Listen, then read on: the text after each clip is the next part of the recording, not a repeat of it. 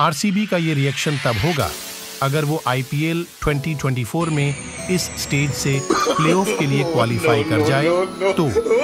आपका इस बारे में क्या कहना है?